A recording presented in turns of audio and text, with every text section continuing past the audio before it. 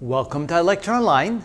In our second problem in this set, we have the same setup as before. We have a single mass, two springs attached to the mass, and those springs are attached to solid anchors that do not move. And now again, we're going to push the mass to one direction, we'll let go, and it's going to oscillate back and forth. The difference here is that the springs are not equal. This one has spring constant K1, and this has spring constant K2. Let's assume for a moment that K2 is larger than K1, so the force of the pull of this spring when the object is moved to the left is going to be greater than the push of this spring. The force here is going to be minus K1x, and the force there is going to be minus K2x, so this will be a larger force. But since they're acting in the same direction, they're going to be additive, algebraically additive, because there's no other components than the x direction components.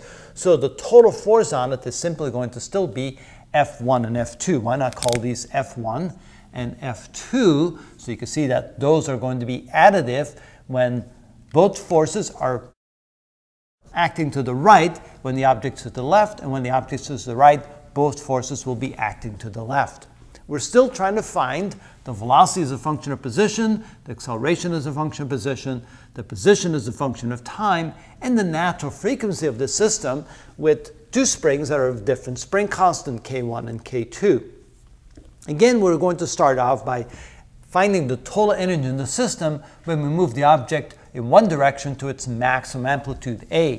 And so we can then say that the total energy E total is equal to the initial energy that we put into the system, which is equal to 1 half k1 x squared.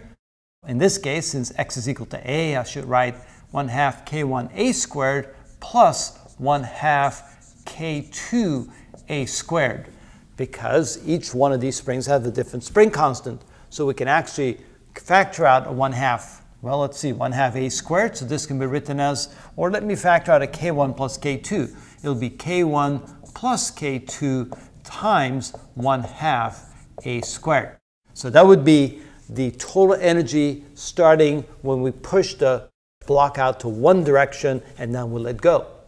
When the block is oscillating back and forth, the total energy will then be subdivided into potential and kinetic energy. So at any moment in time, the total energy will be equal to the sum of the potential energy plus the kinetic energy of the system. Now the potential energy will be the sum of the potential energies of the two springs. So it'll be 1 half k1x squared plus 1 half k2x squared. That'll be the total potential energy at any point in time or at any position x. When x is 0, there's no potential energy. And when x is a maximum, you have the maximum potential energy. Plus the kinetic energy, which will be 1 half mv squared. And so what we're going to do now is take this part of the equation and solve that equation for v as a function of x oh, wait a minute. Oh, I'm not, that's not an equation. I'm not done yet. I've got a little ahead of myself. That's the total energy of the system, and we're going to set that equal to the initial energy, which is right here, which is K1 plus K2 times 1 half A squared. There we go. That's the equation I'm thinking about.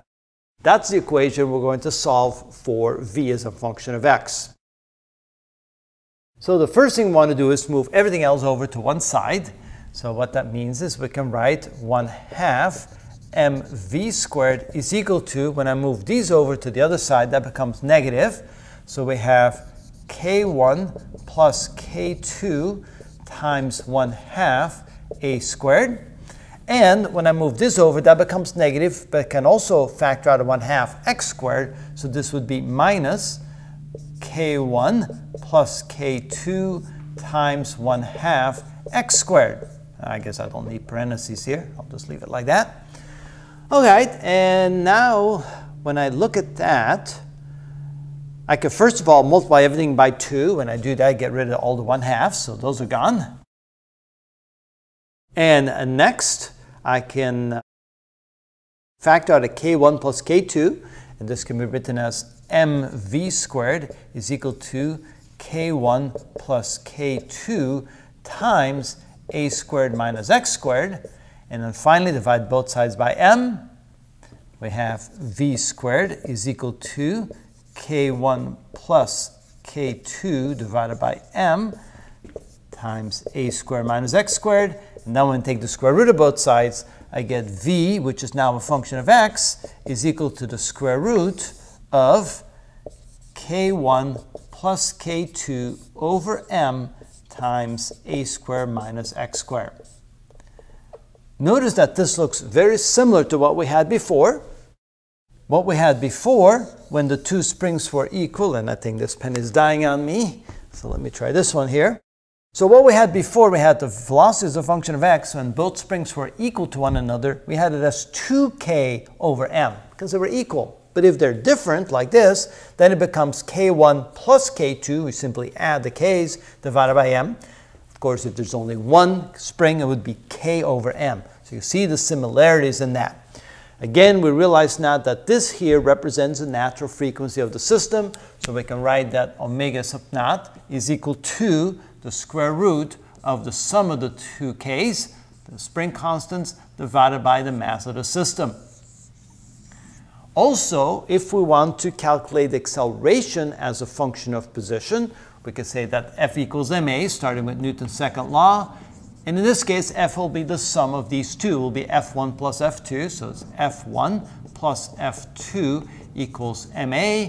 And if we add those together, we get minus k1x minus k2x equals ma, or I can then say that a is equal to, when I factor out an x, I can say that's minus x times k1 plus k2 over m, or I think they'd rather have that with the k's first, so write a is equal to minus the quantity k1 plus k2 times x over m.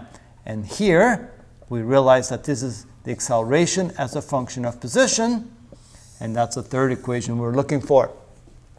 Again, we want to write also the position as a function of time. For that, we're going to use the sine function. We can say that x as a function of time is equal to the amplitude times sine of omega t. And omega here is going to be this omega in this particular case because the spring constants are not the same. And that's how we find the various equations that explain mathematically the simple harmonic motion when we have a single mass attached to two springs that are pushing and pulling at the same time. And that's how it's done.